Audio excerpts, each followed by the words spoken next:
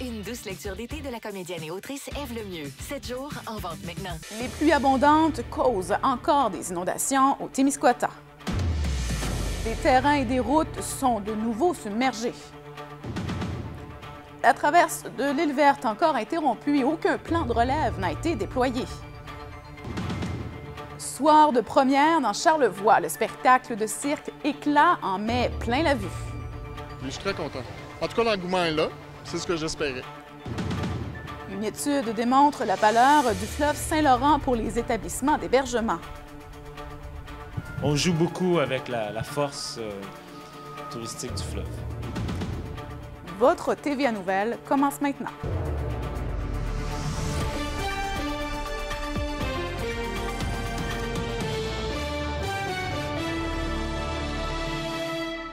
Bon début de soirée tout le monde. De la pluie, de la pluie et encore de la pluie. Les précipitations des derniers jours ont causé des inondations de nouveau Témiscouata. Le terrain du Motel Royal et la rue de la plage à Témiscouata sur le lac sont submergés d'eau depuis cet après-midi. Mégane, vous êtes sur place. Euh, quelle est l'étendue des dommages?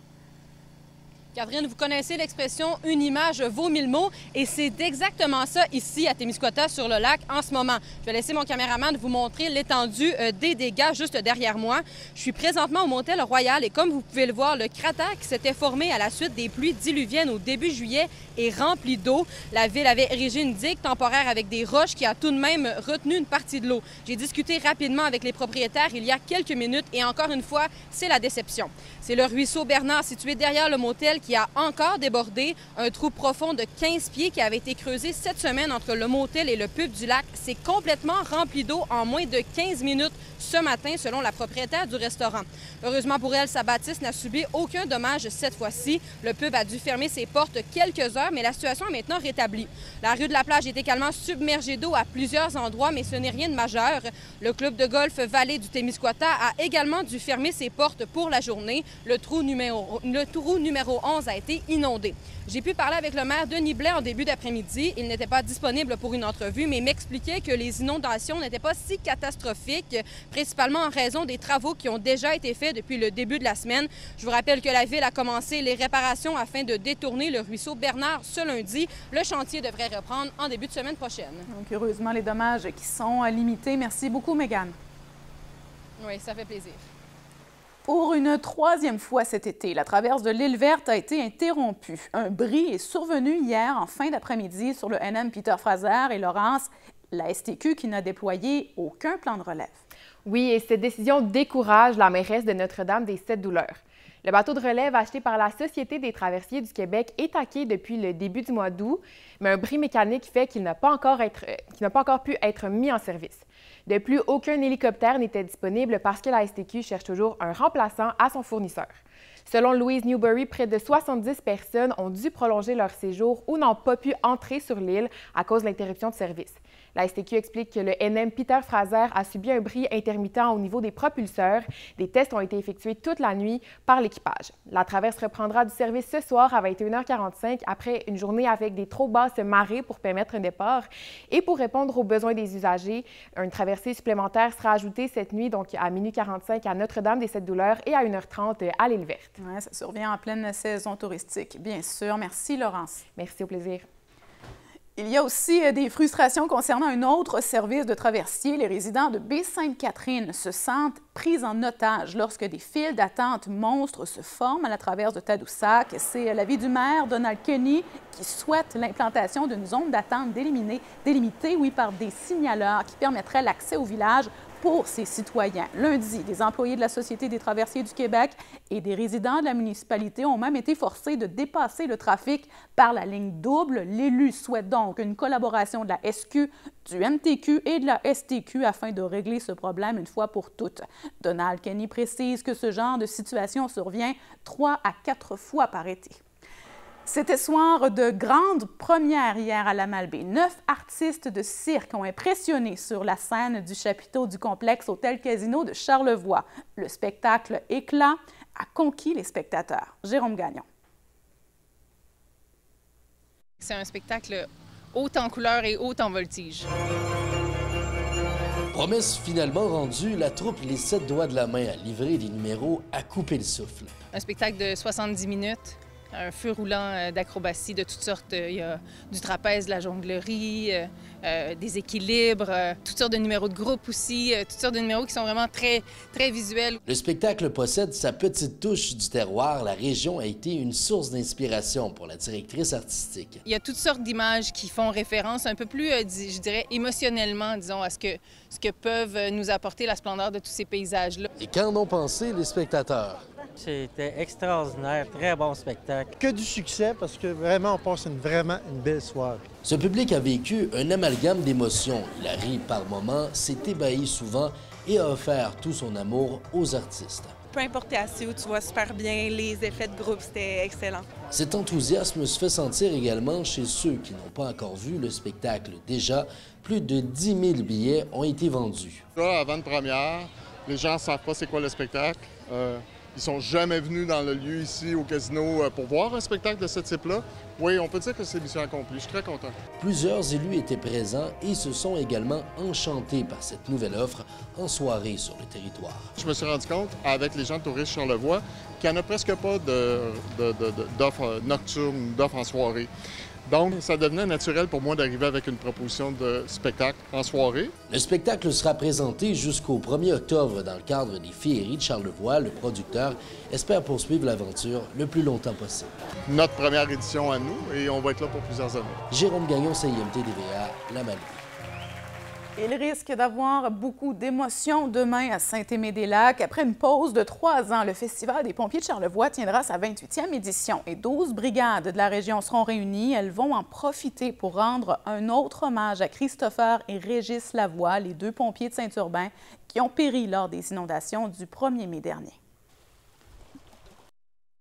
Les deux familles ont confirmé leur présence, puis on sera là avec eux pour euh, les seconder, les appuyer, parce que vous le savez, euh, quand il y a eu la vigile à Saint-Urbain, toutes les maires de l'Est ont monté également.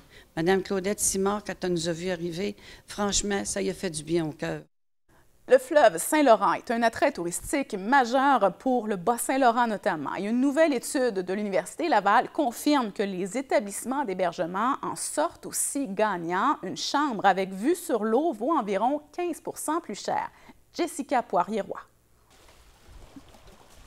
Le fleuve Saint-Laurent est l'allié économique numéro un des hôteliers du Bas-Saint-Laurent. C'est ce que révèle une nouvelle étude de l'Université Laval qui indique qu'une chambre avec vue sur le fleuve se loue en moyenne 50 de plus qu'une chambre régulière. Le fleuve a un impact économique assez important pour le secteur touristique parce qu'il amène des recettes et des revenus supplémentaires. C'est évident qu'une vue sur le fleuve, c'est plus cher. Les gens recherchent ça. C'est- C'est c'est un attrait qui est majeur pour notre région. Pour le directeur général de l'Hôtel Lévesque, c'est un atout à exploiter continuellement. Les différents services ont été développés autour de la vue sur l'eau, même les salles de conférence. C'est pas parce qu'on est en formation qu'on est en obligation d'être entre quatre murs, pas de fenêtre, donc on a beaucoup exploité cette vue-là. Et pour l'auberge du portage, plusieurs activités sont offertes pour profiter du plein potentiel du fleuve. On va faire la location de kayaks euh, de mer, offrir euh, des vélos pour euh, se balader ici sur la route du fleuve qui ne peut pas être plus près du fleuve. Selon le professeur qui a supervisé l'étude, les hôteliers prennent la bonne décision en adaptant leurs services pour maximiser ce paysage. Pour la rive nord et la rive sud, ben, juste les revenus de location d'hôtels, ça représente des retombées économiques d'à peu près 63 millions de dollars par année. Mais la rive sud a un allié bien à elle. Je pense qu'on a quand même les plus beaux couchers de soleil, les plus beaux couchers de soleil au monde, fait que ça a quand même un impact pour les clients. L'étude démontre aussi que les touristes sont moins attirés par le paysage maritime durant l'hiver au Bas-Saint-Laurent, alors que le taux d'occupation des hôtels est plutôt stable, peu importe les saisons à Charlevoix. Jessica Poirier-Roy, CIMT TVA, Rivière-du-Loup. Ici Coralie Morancy. Un homme de Saint-Antonin réalise son rêve. Il a mis sur pied les serres Saint-Antonin où il cultive des framboises. Les détails après la pause. Hey Rivière-du-Loup, après l'Apocatière et Montmagny, maintenant vous aussi, vous êtes maniaque. Maniaque moto pour une collection complète de motos et VTT. Maniaque branché pour rouler électrique en VTT, vélo, scooter. Je vous dis que ça roule pour notre entreprise. Une boutique de plus au 386 rue La Fontaine, Rivière-du-Loup et un inventaire du tonnerre à nos trois points de vente. C'est le temps de passer voir l'équipe Maniac pour profiter de cette promotion à Rivière-du-Loup, La Pocatière et Montmagny.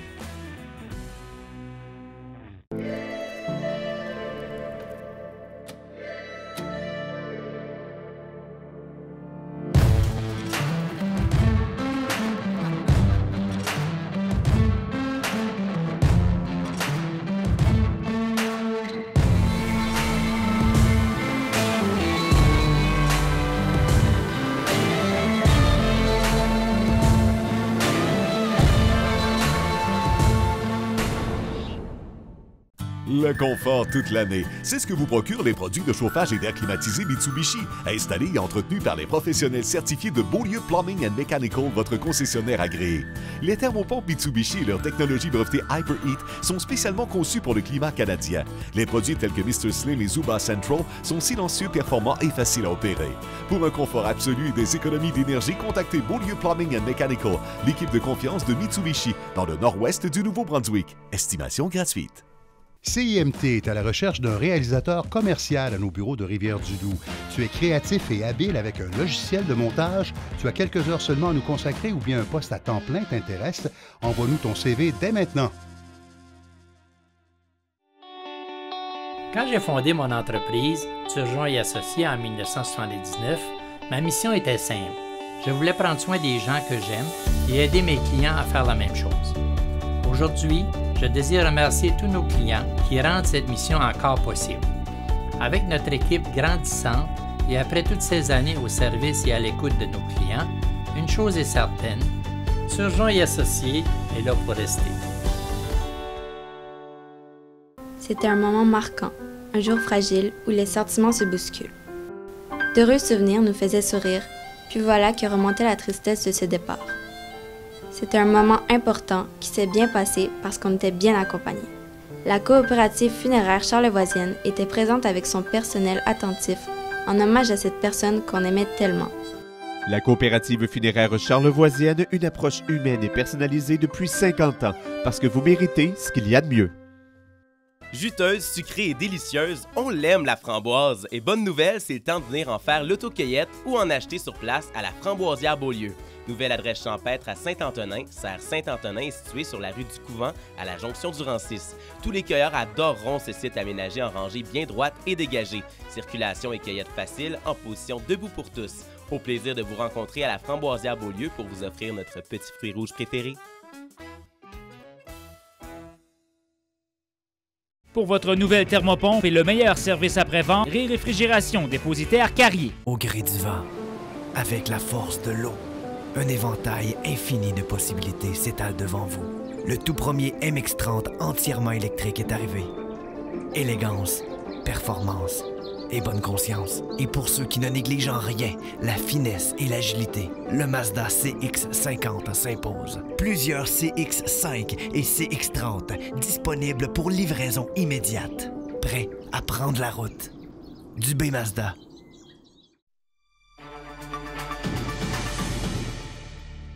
Les travaux de pieutage sur le chantier du groupe Medway à Rivière-du-Loup, qui devaient être terminés au retour des vacances de la construction, se poursuivront finalement encore quelques semaines. Le promoteur explique qu'il y a eu des retards dans les échéanciers en raison d'un bris de machinerie. Selon l'avancement des travaux actuels, le pieutage sera donc terminé au courant de la semaine du 28 août. Les amateurs de petits fruits dans la région de Rivière-du-Loup ont désormais un endroit de plus pour en cueillir. Un homme de Saint-Antonin a mis sur pied une nouvelle plantation de framboises. Coralie Morancy. Éric Beaulieu réalise un rêve. Son intention est bien claire de pouvoir fournir la population en petits fruits. Je vis mon rêve, mais il y a beaucoup de travail là-dedans. On le fait pas parce que c'est facile, on le fait parce que c'est nécessaire. Il dispose aujourd'hui de 1500 plants. C'est qu'on essaie de protéger nos cultures. On essaie de mettre un couvert sur nos cultures parce que la météo collabore pas beaucoup depuis euh, quelques années. Produire localement est l'un des objectifs du propriétaire des Serres Saint-Antonin. Alors, si on veut continuer à manger, il faut s'adapter. Localement, ça pourrait faire une différence. Si on est capable d'approvisionner euh, euh, des épiceries, euh, les gens, pendant 5-6 mois par année. C'est lors de la pandémie qu'il a réalisé l'importance de l'autonomie alimentaire au Québec. Il a tout de suite mis la main à la pâte pour contribuer à cet élan. Je me suis rendu compte qu'on était extrêmement dépendant pendant plusieurs mois des exportations de nourriture qui viennent de l'extérieur. Et ce ne sont pas les idées de projet qui manquent. Éric Beaulieu souhaite l'an prochain ajouter des plants de fraises et de bleuets. on veut démarrer la saison plus tôt en, début de, au printemps, puis la terminer plus tard à l'automne. Pourquoi? Pour avoir plus d'approvisionnement local. Il aimerait également développer un partenariat pour la vente future de ses fruits en kiosque. Un garçon de Saint-Modeste qui, nous a fait euh, la, grande surprise de nous apporter des ruches avec, avec plaisir, parce que nous autres, on a besoin de ça ici pour polliniser nos, euh, nos framboisières.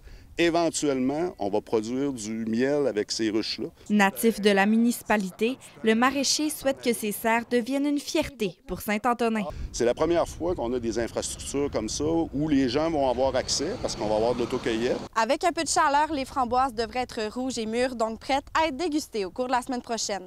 Coralie Morancy, CIMT TVA, Saint-Antonin. Le gouvernement du Nouveau-Brunswick veut rendre les pompes à insuline davantage accessibles. Dès le 15 août, tous les citoyens de la province qui vivent avec le diabète seront admissibles au programme en place. Mylène Thomas.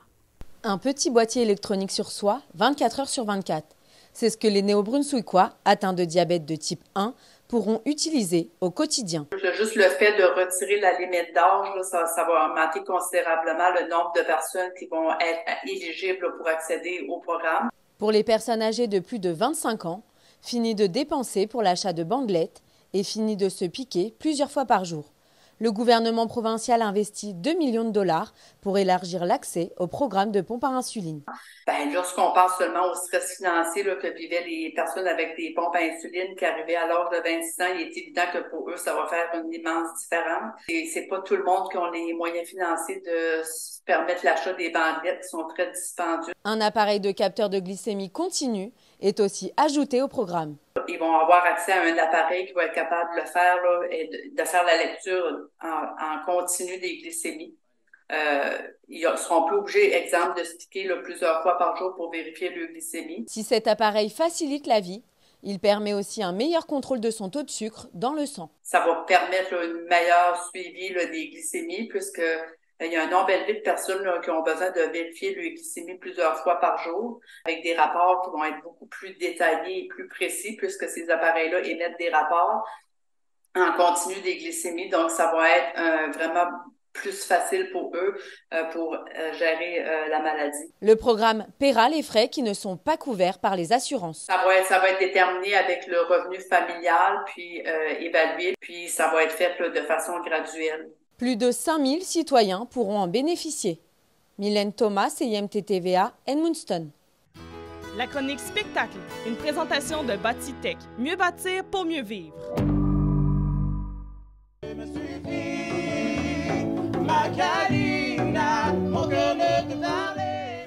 Un concert gratuit de musique du monde est offert ce soir à Saint-Alexandre. Impossible de ne pas entrer dans la danse en ce soir au Festival des Générations qui ouvre en mode rassembleur. On sait que plusieurs personnes issues de l'immigration résident dans la municipalité. Le Festival de Saint-Alexandre de Kamouraska propose donc Nat and the Gang, formé de la chanteuse Nathalie Levasseur, originaire du Kamouraska, et de musiciens issus de plusieurs pays et résidents de la MRC.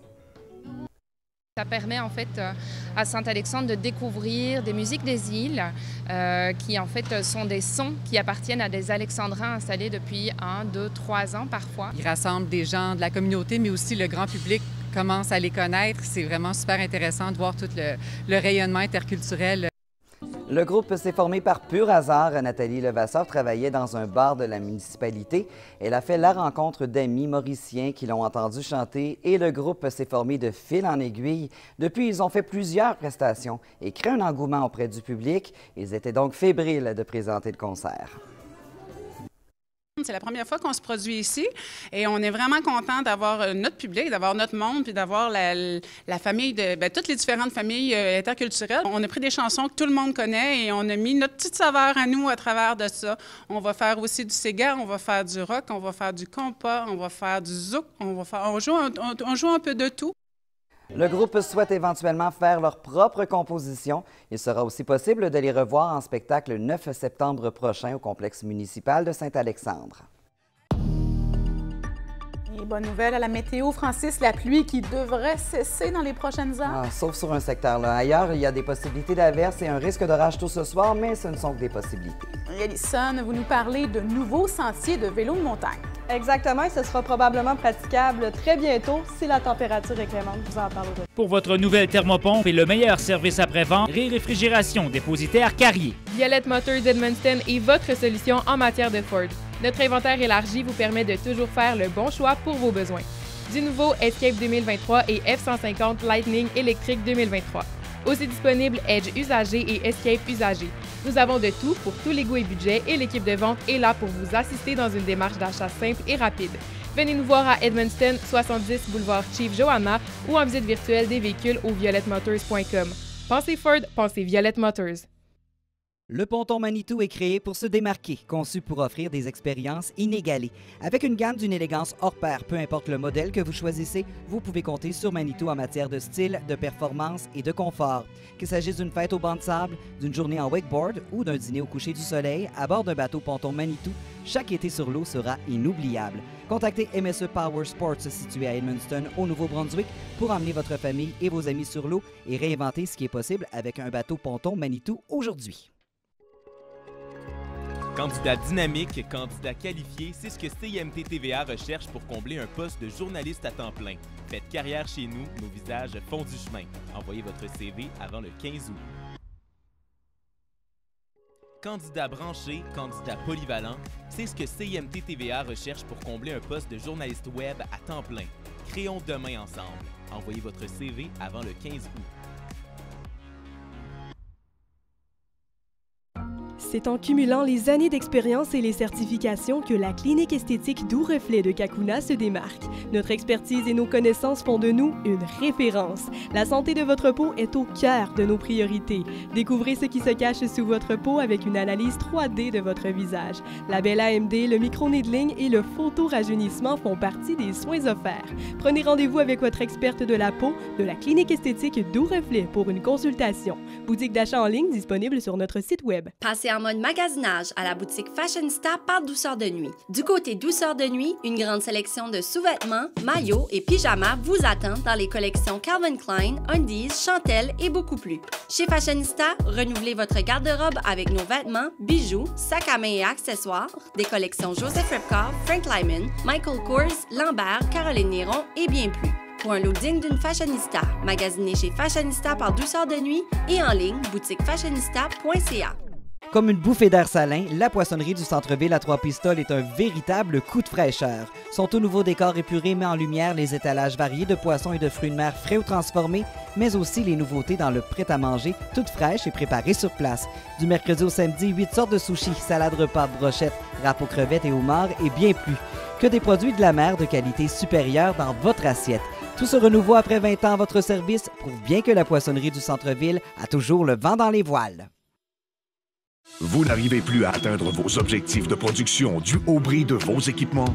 Vous avez de la difficulté à optimiser vos projets de maintenance. Avec la main-d'œuvre dont vous disposez, n'attendez plus. Contactez Souci Industriel. Nous sommes experts, efficaces et engagés. Que ce soit pour des projets spécifiques en mécanique industrielle, pour des travaux de soudure, maintenance planifiée ou non, des projets d'usinage sur place ou en atelier, Souci Industriel est le partenaire de confiance qu'il vous faut. Pour votre nouvelle thermopompe et le meilleur service après-vente, Réfrigération dépositaire Carrier. Les sports, une présentation de grand portage Volkswagen et l'événement L'été en Volks.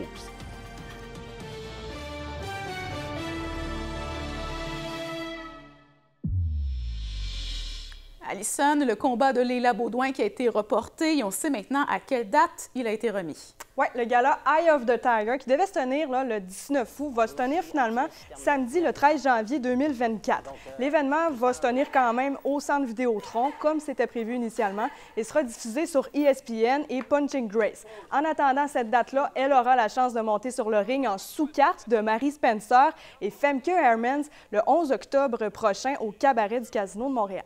En natation maintenant, la nageuse Raphaël Tremblay a connu un beau dernier week-end de compétition. Oui, tout à fait. La nageuse des loups marins s'est classée quatrième de la finale B aux 50 mètres libres qu'elle a fait en 27,1 secondes.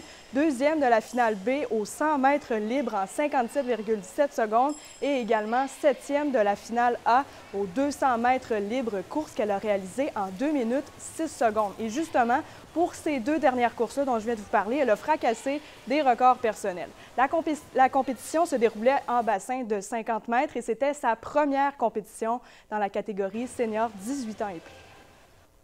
Si vous êtes adepte de vélo de montagne, vous devriez entendre ceci parce qu'il y a en ce moment un projet majeur dans les sentiers de vélo de, montagne, Sentier Madawaska Trail à Edmundston. Ça s'adresse aux amateurs de sensations fortes, évidemment, et le projet permettra d'apporter des améliorations importantes au réseau de sentiers déjà étendu sur plus de 60 km. Deux de ces quatre sentiers seront de type enduro avec des défis techniques plus importants et les deux autres sentiers seront de type flow qui s'adressent aux cyclistes intermédiaires on peut entendre Cyril Simard, qui est euh, président euh, de l'organisme.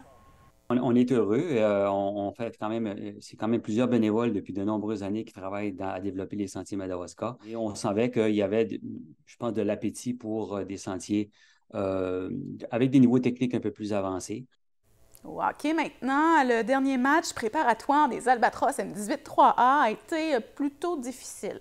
Oui, le Collège Notre-Dame a échappé le match aux mains du bizarre du séminaire Saint-François par la marque de 14 à 3. Les champions canadiens en titre, c'est le cas de le dire, ont carrément volé la vedette. Et chez les Albatros, les points ont été réalisés par Mathéo Pelletier, qui a touché le fond du filet à deux reprises, et Anthony Saint-Jean, qui a pu marquer un point. De cette manière-là, ils ont pu arracher le jeu blanc au gardien adverse Xavier Caron, et la troupe de Michel Ouellet disputera son prochain match préparatoire à Jonquière mardi prochain. L'exploit de la semaine présenté par Structure CD, bâtisseur de confiance depuis 1975.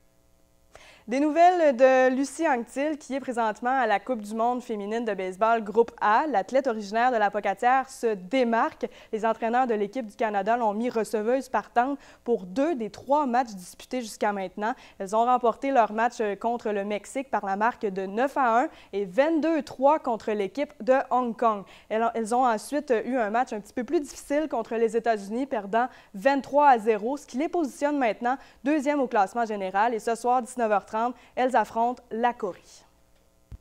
C'est un rêve depuis que je suis toute jeune. Euh, ça fait longtemps que je travaille pour ça. Je suis allée à la BC pendant deux ans euh, pour atteindre cet objectif-là. C'est sûr qu'avoir le nom du pays sur son chandail, c'est assez spécial. Euh, c'est un rêve, c'est littéralement un rêve qui vient de se réaliser. C'est sûr que je porte le, le chandail avec une grande fierté.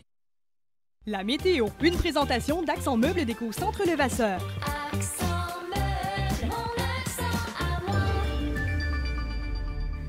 On s'encourage, Francis. On devrait avoir un peu de soleil demain. Effectivement, on va devoir profiter au maximum des prochaines heures pour prendre notre dose de vitamine D. La pause de luminosité là, sera de courte durée. Donc, une seconde dépression en provenance du centre des États-Unis et du nord de l'Ontario est en est en formation. Euh, en fait, elle, arrive sur nos régions et bien, il va y avoir encore beaucoup de pluie dans les prochaines heures. Dans un autre ordre d'idées, la Terre a tremblé hier hein, vers 23h33. L'épicentre était situé à la Malbaie. On a enregistré 3,2 sur l'échelle de Richter. Et la Terre aurait tremblé jusqu'au Kamouraska. Une seconde a eu lieu ce matin vers 9h58. Maintenant, on regarde ce qui se passe à la météo pour ce soir.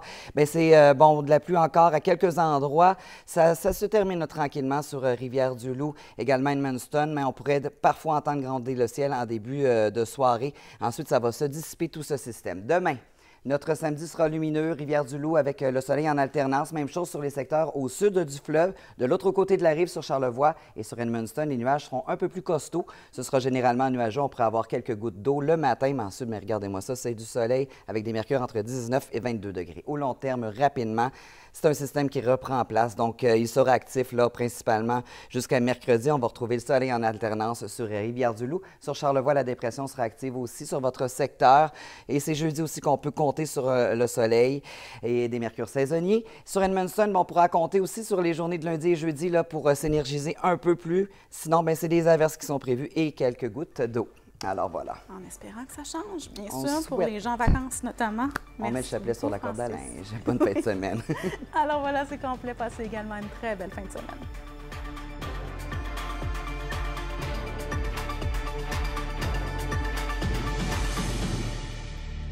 Savez-vous pourquoi tant de gens font affaire au Centre Hi-Fi de Rivière-du-Loup depuis près de 50 ans? Parce qu'ils ont toujours vendu de bons produits dans les meilleures marques comme les réputés produits Samsung, les numéros 1 au monde.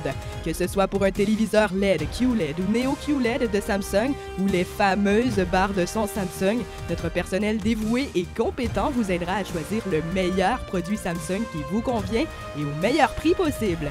Choisissez le Centre Hi-Fi pour le prix des grandes chaînes et le service des gens d'ici.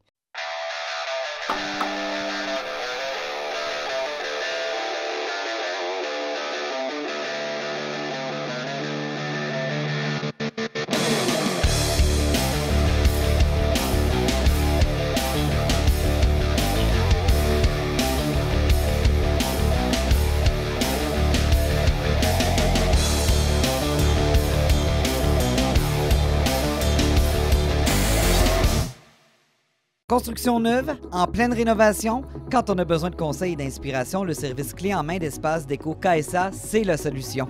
Décoration, accessoires de plomberie, peinture, couvre-plancher, il y a tellement de choix sur place. Les designers sont là pour nous guider, en plus de faire des consultations et mesures à domicile. Leur plan 3D nous donne une vision claire de notre projet. Et en plus, c'est le plus gros centre de coupe de comptoir moulé et distributeur de composantes d'armoire du Bas-Saint-Laurent.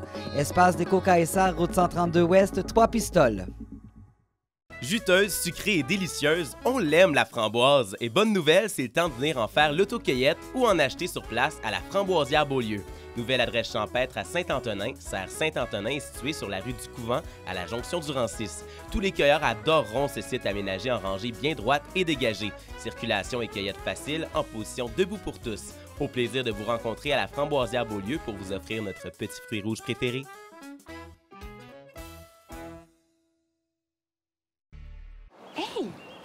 Regardons ça, les beaux meubles. C'est un nouveau magasin, ça?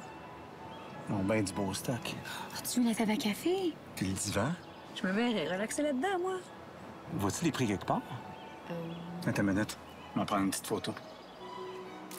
Ah! OK, OK. Ah, en tout cas, c'est beau chez vous. hein? Tanguay arrive dans le décor avec 11 nouveaux magasins partout au Québec.